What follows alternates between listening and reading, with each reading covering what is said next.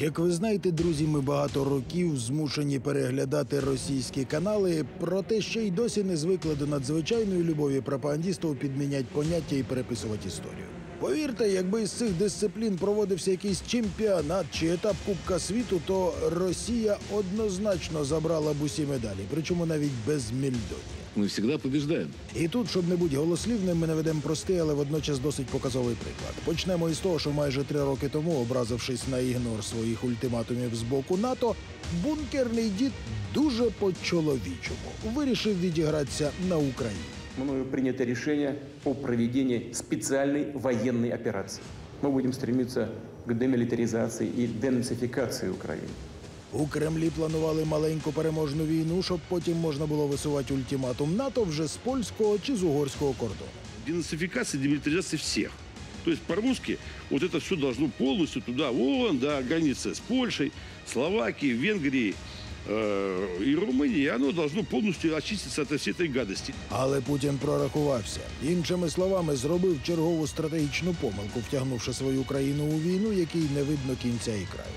Причому останній факт підтверджують навіть деякі зет-чиновники і пропагандісти.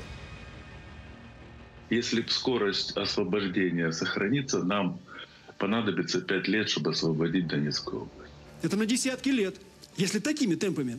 Или будет какое-то, так сказать, решение, которое на самом деле трудно будет э, представить как успех. Это очевидно. Вже на нинішньому етапі через божевілля всього однієї людини загинули сотні тисяч. Увага! Російськомовних та православних людей, яких Путін язиком завжди обіцяв захищати. Мы всегда будем защищать и русско-этнических русских на Украине, и ту часть украинского населения, украинского народа, которая чувствует с- свою неразрывную, не только этническую, но и культурную, языковую связь с Россией, чувствует себя частью широкого русского мира.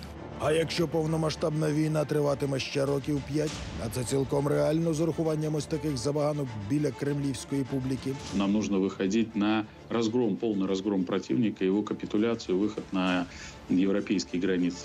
Тобто після цієї промови 24 лютого 22 року Мною принято решение о проведении специальной военной операции.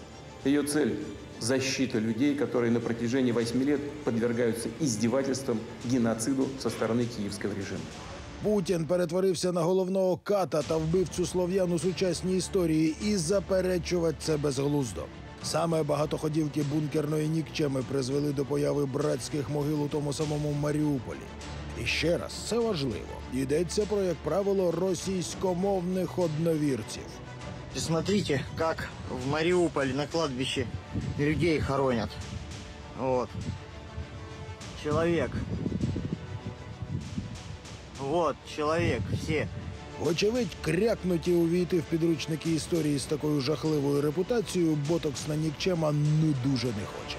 А тому, судячи з контенту російських каналів, всіх останкінських пропагандістів терміново свистали на борг, де поставили дуже непросте завдання усіма силами переписувати історію так, щоб, начебто, не Путін був винним у цій війні. Зеля клянчит деньги и оружие. Зеля не хочет уходить. Его существование – это только война. Только на горах трупов он может сидеть. Если прекратятся боевые действия, он тут же слетит. Этот актер слишком заигрался. Ми, коли цей ефір побачили, то не знали, сміяться чи викликати просто до студії швидку допомогу. Ні, друзі, вони дійсно дуже серйозно намагаються втирати, що у війні винен Зеленський. Договор с дьяволом подходит к концу, и он хочет продлить свое существование. Говорит сатане, на, пожри еще детей, подростков, женщин, преподавателей, пенсионеров. Ну і ще захід трохи. Останні нібито так у своїх оргіях загрузли, що не чують увага сліз дітей і матерів. Вы слышите плач ребенка, чью мать убивает сегодня осколками вашего мерзкого оружия?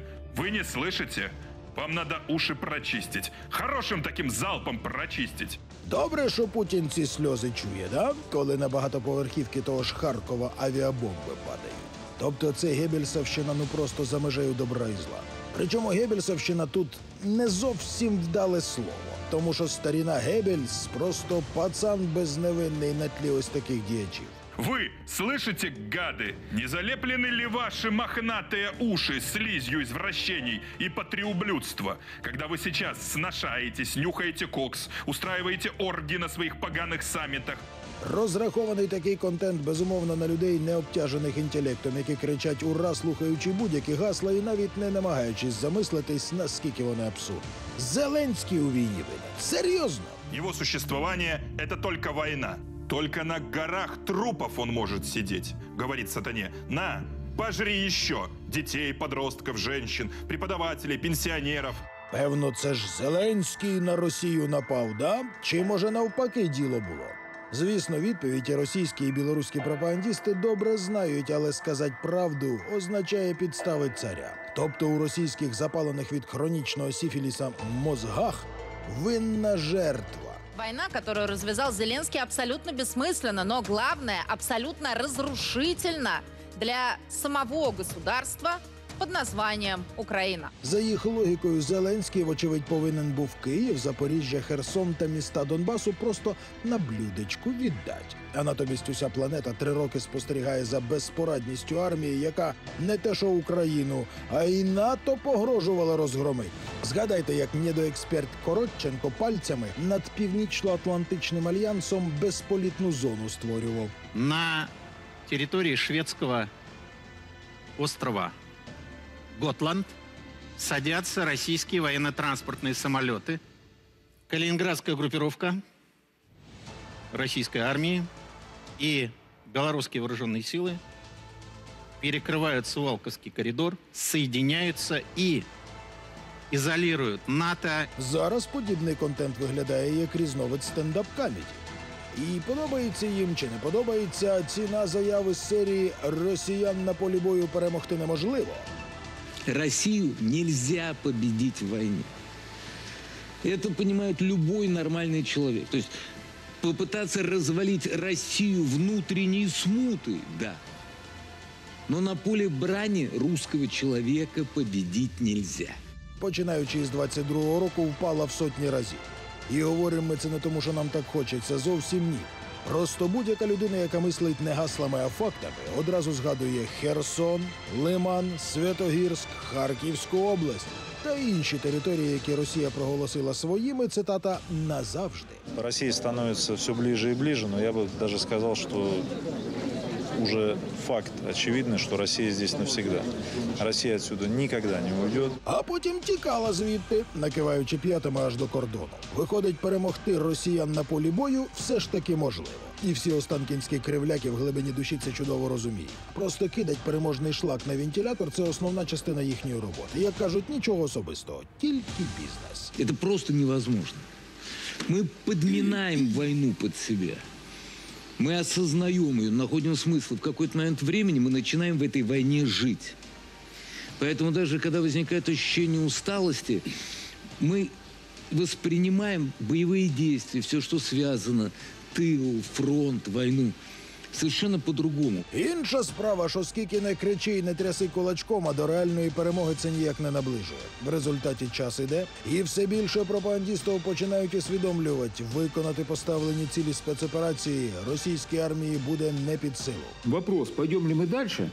Я отвечаю, стратегически можем и пойдем. А политически, скорее всего, нет.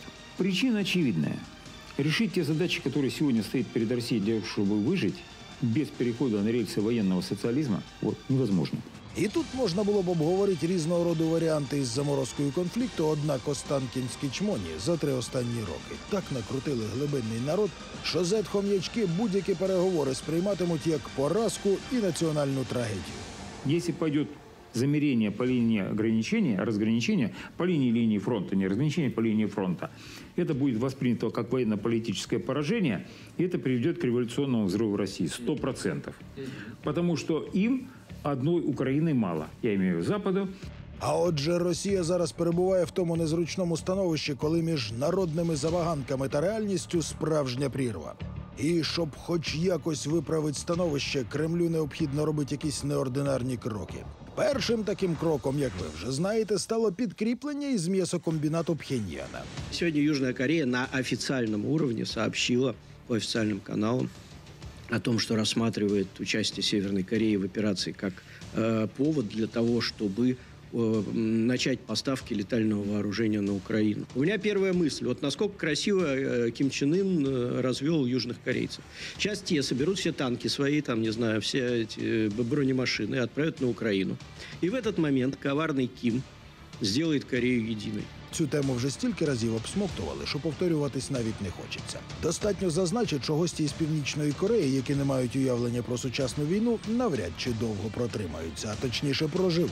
Ось що пишуть із цього приводу російські військори. Шутки про эти закончились, пришлите новых, уже гуляют по линии боевого соприкосновения. Відповідно, корейський укольчик, якщо і допоможе Путіну, то ненадовго. Тобто Кремлю для реального прориву потрібні якісь зовсім інші рішення.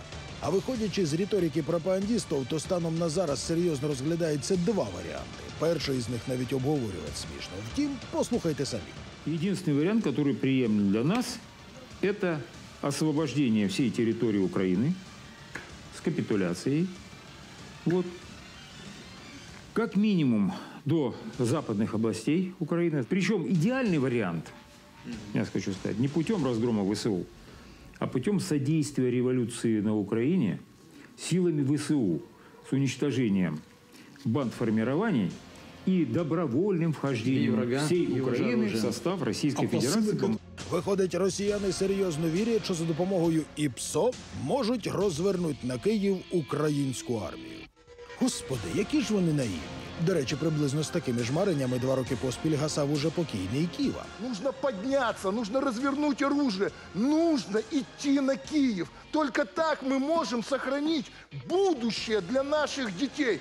Проте час іде, а натяку на щось подібне навіть нема.